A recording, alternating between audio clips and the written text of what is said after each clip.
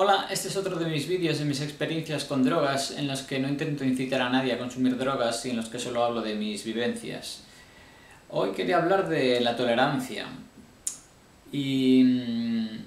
en mi experiencia pues el consumo de la mayoría de las drogas que he probado y que tomo como es algo que hago de forma así pues muy esporádica yo no tengo problema con eso porque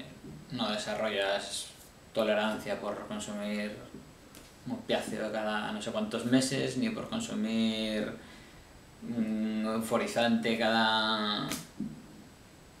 medio año, o cada año y medio, o cada dos años, ni por consumir LSD o algún psicodélico cada tres o cuatro meses.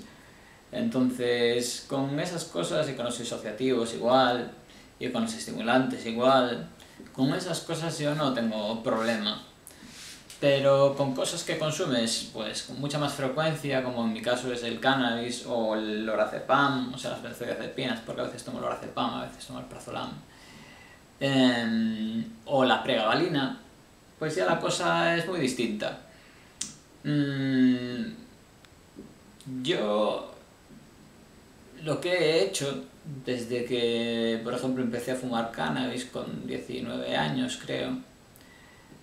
ha sido siempre fumar muy poquito, muy poquito, muy poquito, de forma que no desarrollo tolerancia. Entonces, mmm, yo fumo cantidades minúsculas, eso sí, aguantando el humo y tal, pero mmm, he mantenido siempre la dosis muy baja y he conseguido mantener durante 23 años la dosis prácticamente igual de baja. Y por aquel entonces fumaba unos 2 gramos al mes y ahora fumo unos 2 gramos al mes de hachís.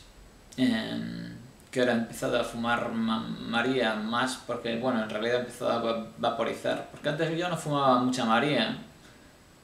porque, o sea, el último, año un poco más, pero bueno. Pero mm, al tener menor concentración de THC que el hachís,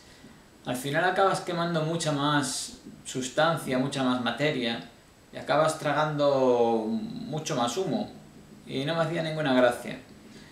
Em, desde el momento en que he empezado a vaporizar, pues ya eso no, es un, problema y consumo más marihuana y tengo que pesar para ver cuánto peso, cuánto, cuánto consumo al, al mes, que todavía no sé el cálculo con eso. Pero muy poco. Em, la cuestión está en que yo pues no fumo todo el día, como hace alguna gente. Yo fumo una o dos veces al día, generalmente hacia la tarde, tarde-noche, no antes de irme a dormir porque parece que no es muy bueno para el sueño el tema de, de fumar y además se me seca mucho la boca y mm, me da problemas dentales, sobre todo por la noche, si se seca mucho la boca, eh, aumenta la acidez en, en, la boca y se, se fastidian los dientes. Y, y, durante el día también, pero mientras duermo no me doy cuenta, entonces no hago nada para, para producir saliva o algo así. Em, entonces yo suelo fumar casi siempre o suelo consumir cannabis para hacer algo, en vez de tenerlo como hábito de coger y fumar a lo largo del día, porque yo, yo fumo cannabis, entonces fumo, sino que suelo fumar cannabis pues para hacer sketches o para tocar la batería o para componer música o para... Eh, irme a hacer fotos por ahí al río o para estar con amigos a veces, otras veces no, pero a veces. Pero, pero rara vez consumo cannabis así porque sí, rarísima vez. Incluso cometo el error de saber que el cannabis me ayuda anímicamente y que a veces estoy muy mal y muy triste y en vez de coger y fumar y ponerme un poco mejor, sigo un poco con el chip de no, no, yo fumo para hacer algo solo. Entonces a veces estoy mal y por no, por, me parece un desperdicio el haber fumado para estar aquí limpiando la habitación o limpiando, fregando los cacharros o yo qué sé. papando moscas, haciendo cualquier cosa, que me, me, fastidia mucho papar moscas y últimamente estoy papando más de las que quiero porque me duele tanto el cuerpo que no soy capaz de hacer cosas y, es un Cristo y me produce ansiedad el verme ahí a veces delante del ordenador diciendo ¿qué coño hago yo aquí viendo vídeos y viendo la página de inicio de, de, Facebook como un gilipollas? Em, papando moscas pues es que no me da el cuerpo, no me da el cuerpo para estar con el ratón ahí haciendo música, no me da el cuerpo para estar tocando la batería más de media hora como muchísimo, no me da el cuerpo para, para ponerme a redactar mm, cosas muy largas, a veces se me acumulan los mensajes ahí, los comentarios porque me duelen los brazos, las manos, la espalda y es un Cristo. Y mm, y bueno, eso. Y encima el fumar me agudiza esos dolores, lo cual también me echa un poco para atrás a la hora de fumar, porque tengo que decidir a veces entre estar un poquito menos triste o bastante menos triste y pasarme el resto del día con unos dolores de la hostia o retrasar todo lo que pueda el fumar para no acabar el día estando muy triste todo el día y para no estar con tantos dolores todo el día. Una mierda, la verdad. Pero... Pero bueno, eso, que yo fumo poco. Y al fumar poco, lo que he conseguido es no desarrollar tolerancia. Hasta el punto en que fumo exactamente lo mismo ahora que hace 23 años, como he dicho. Con el lorazepam y las benzodiazepinas en general, pues hago un poco lo mismo Em, intento mantenerlo al mínimo y entonces no llego a desarrollar tanta tolerancia. Yo veo que hay gente que me escribe en los comentarios y tal que se ha empezado por tal y ido subiendo y subiendo y subiendo han llegado a un punto en que tienen una tolerancia tal que a algunos ya ni les hace nada, las dosis que toman que son una burrada que a mí me lo dicen y alguna vez he llegado a desconfiar de que me estaban mintiendo, de quizás equivocadamente por mi parte, pero me parecía una cosa tan exagerada. Em, y entonces yo, aunque ha habido épocas así en los últimos, a lo largo de estos últimos 12 años así que llevo consumiendo benzodiazepinas, mmm, ha habido momentos en los que he consumido más, pero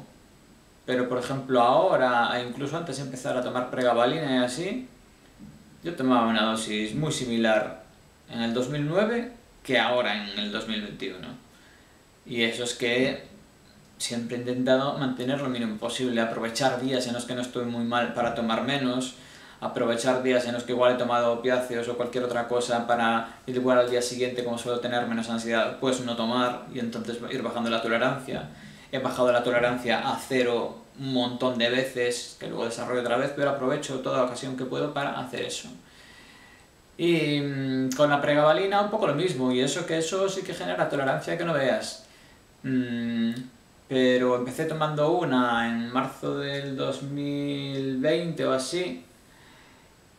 Una, una, pues no digo una cápsula de cuánto para no ponerme aquí con, dosis, pero eh, empecé tomando una cápsula de no sé cuánto por las mañanas y luego de ya unos meses empecé a tomar dos y luego de allí unos meses me empezaron a recetar tres. Pero yo prefiero ir tirando con que no estar muy triste, muy triste, no estar muy hecho polvo y tal, y tomando dos, que ir subiendo cada vez más y desarrollando cada, cada vez más tolerancia y, y verme ahí en, en, la, en la bola de nieve esa. Entonces, ahora cuando estoy muy mal, pues tomo tres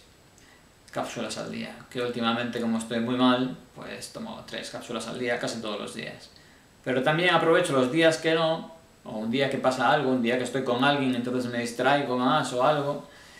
para, para reducir. Y entonces siempre consigo reducir algo, de forma que cuando tomo tres, noto que me hace bastante más efecto eh, que si tomara tres todos los días. Entonces, em, eso, que em, yo creo que con cosas así que consumimos con frecuencia, no es mala idea, o para mí al menos no me resulta mala idea el hacer eso que hago, que es mantenerlo siempre todo lo bajo posible. Y nada más, espero que estés bien y que y que no seas tolerante con la tolerancia, que luego te fastidia.